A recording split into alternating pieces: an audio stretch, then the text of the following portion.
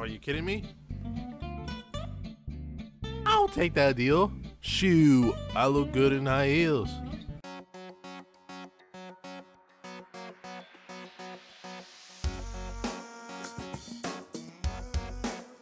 Hey guys, and welcome to the first Will You Press the Button? Now, you may have seen them done a millions of times before with challenges and ridiculous, ridiculous things you have you may have seen or may not seen. I will be part of that trend. Shh, don't tell, don't tell anybody. Uh, but this will be my first time playing it, we'll live forever, but you will live alone. That's a hard question because it can you can live forever. It, I don't know. It's talking about living forever, but be uh, like if you get shot, you will die. Because it's not talking about immunity, like or regeneration. Like will you regenerate and live on forever, or is it just talking about just being healthy and living on until the end of time? I think if I had somebody somebody else to live with forever along with me, I think I'll, I'll survive with my uh, with my sanity somewhat intact. But it means living alone forever for an eternity until the end of time. I don't think personally I do not think I will be able to survive under those conditions. No, it just will be too insane. No, I will not press the button. Don't no, it doesn't matter because there's no way you'll survive intact. You can teleport, but every time you do, some everybody in the world, somebody in the world dies. Ooh, I don't know about that. The odds are so against you for you to get it right. Because then, if you do, somebody innocent might die. Maybe your family, a friend, a loved one, or an innocent kid, or uh, an innocent man, a woman, or child may die because you teleported because you don't want to take a car or anything. Sure, you may end up killing a bad guy once in a while, but the chances of getting it every time not only does it dimin uh, does a ch- uh, ch- uh, likely chance of somebody innocent dying increase every time you kill a bad man or a woman or a leader of a horrible organization, they will die. But every time somebody of those people die, a chance the chance of killing innocents increase. No, no, I will not press a button. I will not kill an innocent man, child, or woman. What? What? 60% of you did? Oh my god.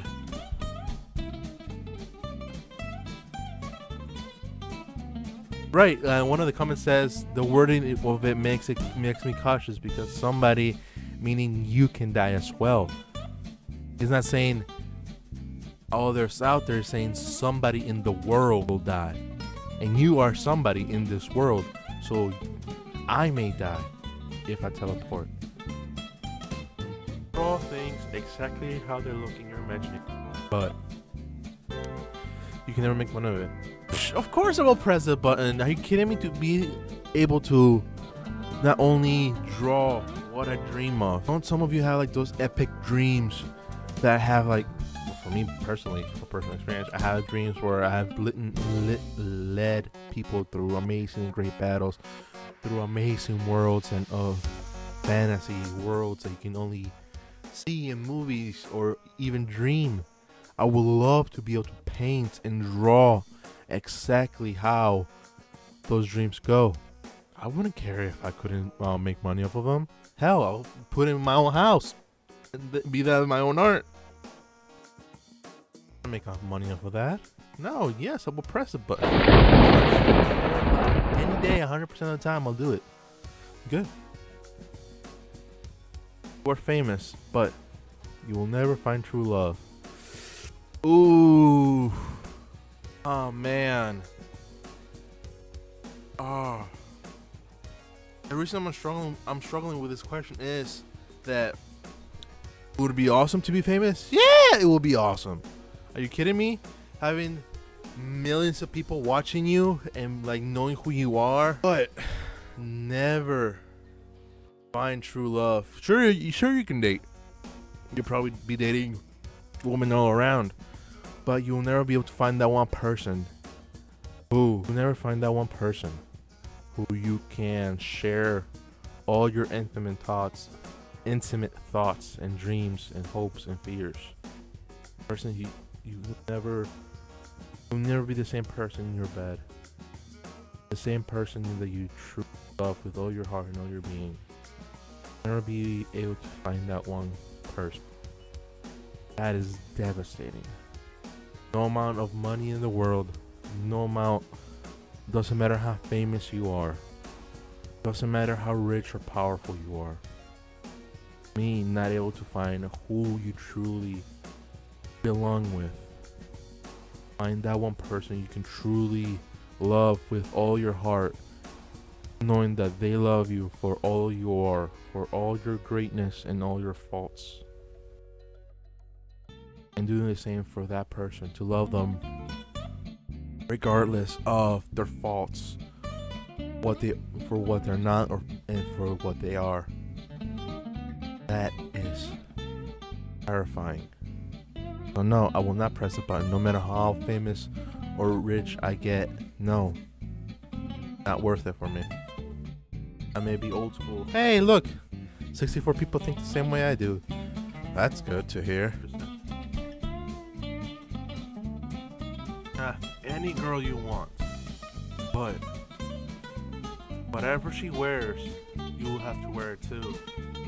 Are you kidding me? I'll take that deal. Shoo, I look good in high heels. Saying that because I did a walk, walk in it, it was two years ago. Every man have to that will participate in the walk would have to wear high heels, and we raised we raised uh, not only awareness for the mistreatment or for against the mistreat, mistreatment of women, whether it be physically, emotionally, or any other kind of abuse, but we would also have to wear high heels. It was kind of like walk a mile in the person's shoes, but we all actually did that. Uh, we did it, and I did walk in high heels. My God, my feet were killing me.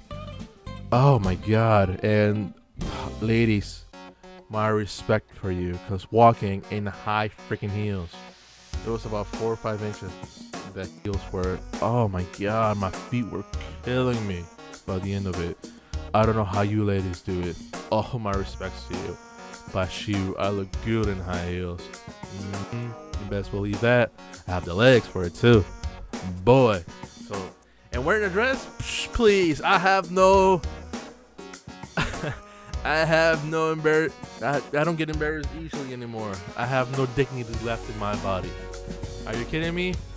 Living the life that I left lived so far with the type of people that I have within my life, and the brother that I have in my life. Shoot, I don't have an ounce of dignity left in my body. So shoot, get any to have to be in a relationship with any girl. I will take it. Sure, yeah, hell yeah. I don't care. This is just wears like say she wears a dress or a dress for men. So I don't care. Be my size, so hell yeah, I'll wear it. Shoot, I look good.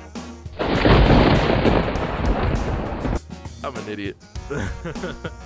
See, people agree with me. I'm not alone in being weird. Don't judge me. Probably already too late, but shoot, don't judge me. Right? And speak in language. But no one wants to read or listen to what you have to say unless you speak languages that you were originally taught.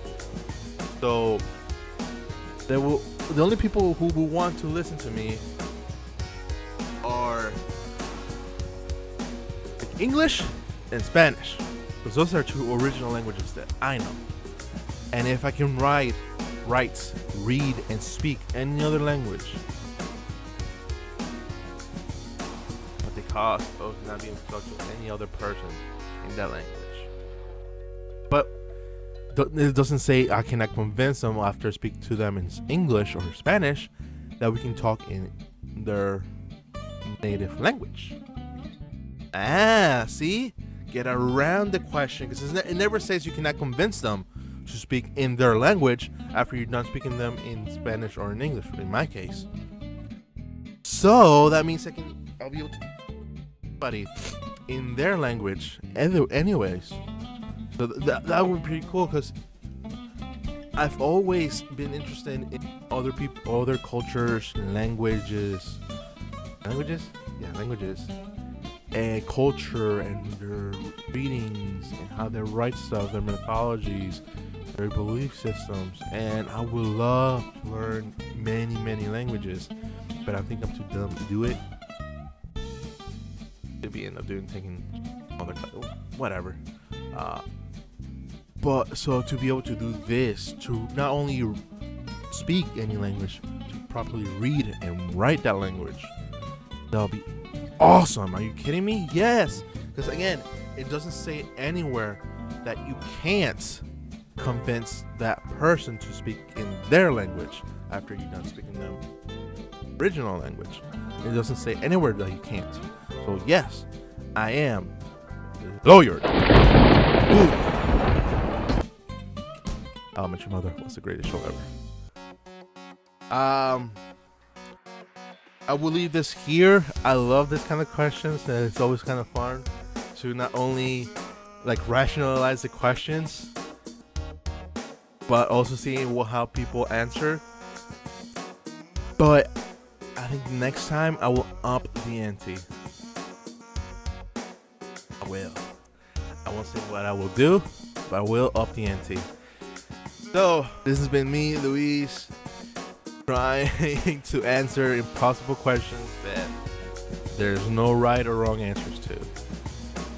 Thank you so much for listening to my idiot idiocracy. Thank you so much. And as always, here guys. Bye.